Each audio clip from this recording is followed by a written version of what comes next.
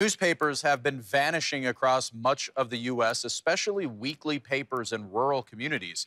As more and more people get their information online and from social media, there are volunteer journalists and nonprofit organizations that are helping filling fill the void.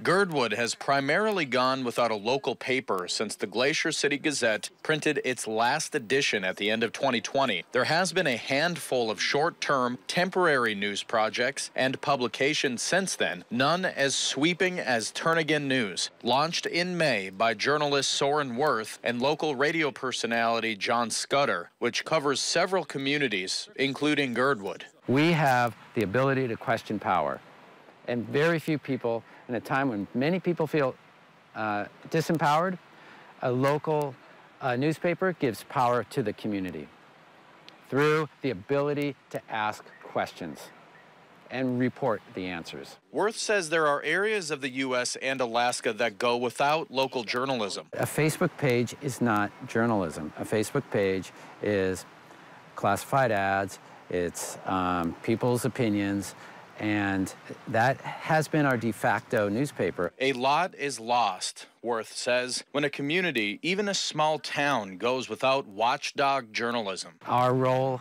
is a grassroots watchdog of local government and, and bigger government.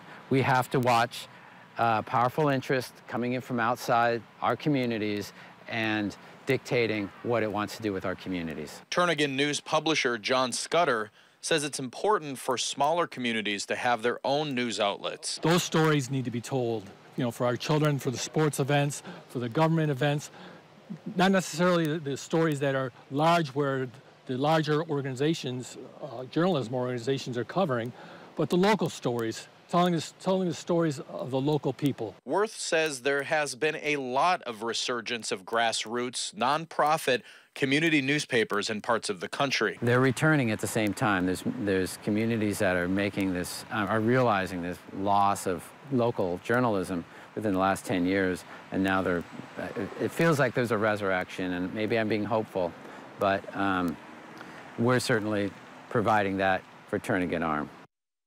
Turnagain News covers Indian, Bird Creek, Crow Creek, Girdwood, Whittier, Hope, Portage, Cooper Landing, and South Anchorage.